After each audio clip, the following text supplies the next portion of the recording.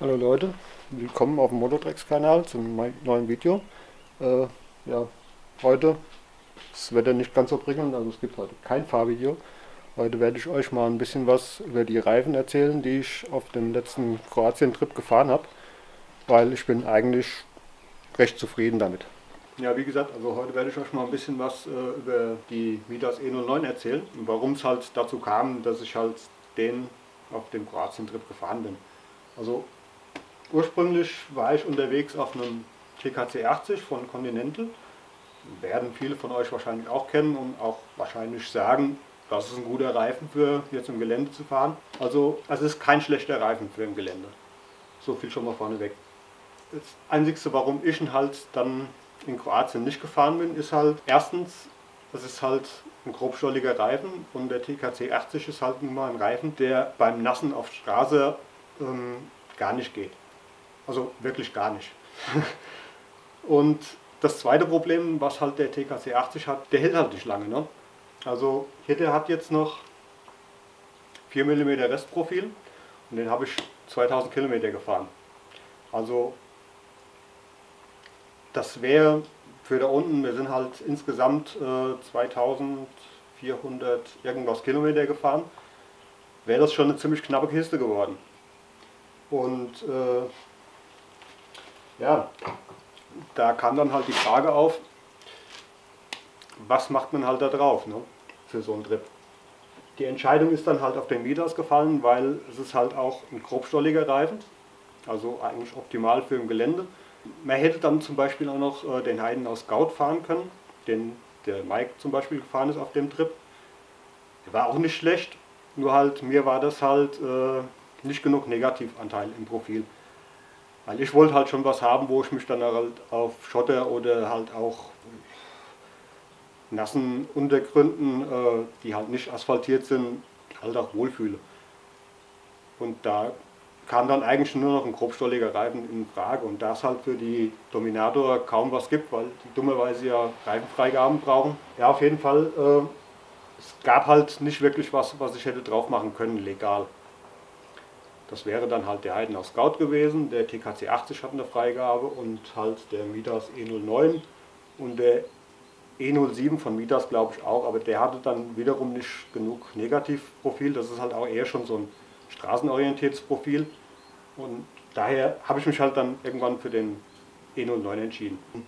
Es ist ein Reifen, der funktioniert auf der Straße sehr gut, also da sind richtig Schräglagen drin. Ich kann euch ja gleich mal so oben mal so ein, zwei Videos einblenden von halt, wo wir da unten gefahren sind. Also es ist schon enorm, was das Ding auf der Straße kann, solange es trocken ist. Wenn es nass ist, äh, ist er wie halt jeder grobstollige Reifen mit Vorsicht zu genießen. Ist also um Welten besser wie der TKC 80, das kann ich schon mal vorneweg sagen, also beim Nassen auf der Straße. Und beim Trockenen eigentlich auch, also der kann auf der Straße schon richtig was, kann man eigentlich gar nicht anders sagen. Bin ich also sehr zufrieden mit. Ähm, das zweite, was mich halt äh, positiv beeindruckt hat bei dem Reifen, ist äh, die Haltbarkeit. Also ausgeliefert wird er mit 12 mm hinten und 8 mm vorne. Und wir sind da unten zweieinhalbtausend Kilometer gefahren, also so roundabout. Davon waren 40% Schotter, würde ich jetzt mal so sagen. Und äh, also er hat immer noch 6 mm hinten und wir sind ja dann, äh, also das war letztes Jahr im Mai und ich bin dann nach dem Trip nochmal ja, so knapp 2000 Kilometer gefahren. Also er hat jetzt 5500 Kilometer runter und dafür ist das schon, also für einen grobstolligen Reifen finde ich das schon ziemlich enorm. Hat jetzt, wie gesagt, also 5.500 Kilometer runter und sind noch immerhin 6 mm Profil drauf. Also da kann man selbst im Gelände noch mitfahren, das ist kein Problem.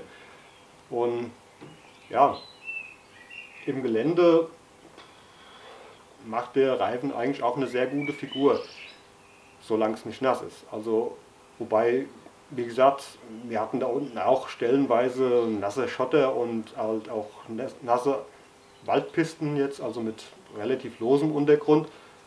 Das ist noch fahrbar. Man muss halt dann, äh, wo wir dann zum nächsten Punkt kommen, man muss halt einfach äh, dann mit wesentlich weniger Luftdruck fahren. Also der Reifen ist ja angegeben auf der Honda jetzt zum Beispiel mit äh, dem Standardluftdruck, den halt auch jeder Reifen auf der Honda fährt, mit 1,6 hinten und 1,5 vorne. Und äh, das fährt sich auf der Straße sehr gut. Also kann man nicht anders sagen. Die Geräuschentwicklung ist bei 1,6 Bar äh, halt, ich sag mal, für einen grobstolligen Reifen jetzt normal. Wenn man ins Gelände fährt, also ich bin relativ viel auf jetzt losen Schotter, halt auch mit dem normalen Reifendruck gefahren. Also ich habe nicht viel am Reifendruck rumexperimentiert. Wir sind dann äh, später, wie es dann ein bisschen nasser geworden ist, also gerade in äh, Slowenien war es ja ziemlich nass teilweise. Der Mike ist auf dem Scout relativ wenig Luft gefahren im Gelände, weil es ist halt, der Scout ist halt ein straßenorientierter Reifen. Ja, fährt sich halt mit wesentlich weniger Luftdruck dann halt im Gelände schon ein bisschen besser, weil er halt eine wesentlich höhere Selbstreinigung hat auch. Und äh, ich habe, dadurch, dass es halt ein grobstolliger Reifen ist, am Luftdruck eigentlich gar nicht so viel gemacht. Ich bin halt dann auch im Gelände mal mit äh, hinten 0,8 teilweise gefahren. Vorne bin ich eigentlich nie unter 1 Bar gegangen, weil je nachdem, wenn du halt einen richtigen Stein triffst und das einen Durchschläger gibt, dann ist halt auch gleich äh, der Schlauch platt, ne? beziehungsweise die Felge. Und daher war ich da schon ein bisschen vorsichtig. Und äh, ich muss sagen, also wenn man dann aus dem Gelände wieder rauskommt auf eine asphaltierte Straße, wir haben dann halt nicht unbedingt immer äh, gleich den Luftdruck wieder hochgeschraubt, sondern wir sind dann halt auch teilweise auf den kurzen Asphaltstücken mit relativ wenig Luftdruck gefahren. Und ja, also wenn man mit 0,8 Bar auf der Straße rumfährt, dann macht auch dieser Reifen richtig Krach. Kann man nicht anders sagen. Ja, also was es noch zu sagen gibt, ist halt, ähm, es ist ein reiner Schlauchreifen, also man kann den nicht äh, schlauchlos fahren. Wobei ich äh, also im Gelände sowieso eigentlich davon abrate, schlauchlose Reifen zu fahren. Weil wenn man halt auch gerade niedrige Luftdrücke fährt, und man sich das Ding halt mal irgendwie von der Felge haut, was halt relativ schnell gehen kann, wenn man mal irgendwo dumm auf den Stein fährt, ähm, dann hat man bei einem schlauchlosen Reifen kaum noch eine Chance, den irgendwie wieder auf die Felge zu kriegen, weil man braucht halt viel Luft dafür ne? und es gibt halt keinen Kompressor her. Ja, dann äh, ist es noch, äh, also der Reifen hat eine MS-Kennung, dass man halt auch auf größeren Maschinen äh, den Reifen ohne weiteres fahren kann, weil er hat ja dummerweise dann eine Geschwindigkeitsbegrenzung, also zugelassen ist der Reifen bis 160 km/h oder 100, ja ich glaube 160, aber das seht ihr ja dann auf der Herstellerseite. Also ich verlinke euch die auch mal unten äh, in der Beschreibung bei Amazon und dann könnt ihr ja mal gucken, also ich glaube 160. Wie gesagt, bei den größeren Maschinen äh, ist es halt immer das Problem, dass wenn man halt über diesen Geschwindigkeitsindex drüber ist, darf man den Reifen ja eigentlich nicht fahren. Es sei denn, es ist halt äh, Winterreifen, also mit NS-Kennung. Dann macht man sich halt einfach vorne einen Aufkleber rein und dann ist halt gut, dann darf man fahren. Ne? Ja, also mein Fazit zum Midas E09 ist ein wunderbarer Allround-Reifen. Lässt sich auf der Straße richtig gut fahren, solange es trocken ist. Und im Gelände kann man das eigentlich auch behaupten. Und ja, hält auf jeden Fall relativ lange. Das muss ich immer wieder betonen was mich wirklich gewundert hat beim grobstolligen Reiten. Also wenn ihr längere Trips plant und äh, vorwiegend auf Schotter und unbefestigten Straßen unterwegs sein wollt, ist das halt auf jeden Fall die richtige Wahl. Oder ihr entscheidet euch halt äh, für den Heidenhaus Scout, das ist auch ein sehr guter Reifen, weil wie gesagt, also mir ist es eigentlich zu wenig Negativprofil für jetzt im Gelände rumzufahren. Auf der Straße ist es ein richtig geiler Reifen, aber für ein Gelände ist es nicht meine erste Wahl.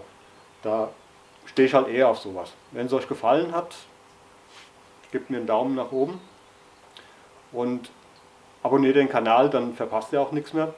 Weil es werden dann in nächster Zeit öfters mal so Erfahrungsberichte kommen. Also ich mache jetzt nicht nur noch äh, Reisevideos oder so. Wir werden hier ein bisschen was noch testen und ja, es werden dann halt auch vielleicht mal so Sachen kommen, wie halt, äh, wie man Reifen aufzieht oder so Geschichten, halt so ein paar Tutorials werden wir auch noch machen. Dann wünsche ich euch noch einen schönen Tag und ja, abonniert meinen Kanal.